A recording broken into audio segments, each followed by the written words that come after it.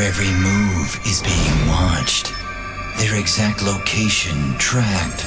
Each one of these heroes is being hunted by the U.S. government. Bring them home alive. Next Monday, join their fight for survival. Do you have any idea what happens if they think I can't control you anymore?